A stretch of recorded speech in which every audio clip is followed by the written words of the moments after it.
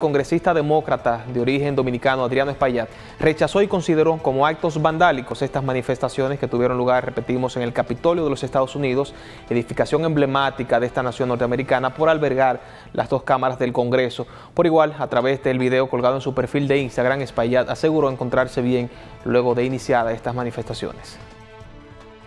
Muy sano aquí en el Capitolio, sirviéndole a los constituyentes de mi distrito y rechazando el vandalismo que el presidente ha desatado en esta nación de oportunidades, en esta nación que le dio la oportunidad a un emigrante como yo de estar aquí representándolo a ustedes. Los rechazamos directamente, con energía, es un vandalismo, un criminalismo, una acción fuera de los parámetros de la ley y la democracia. Y estamos aquí para defender los votos de cada uno de ustedes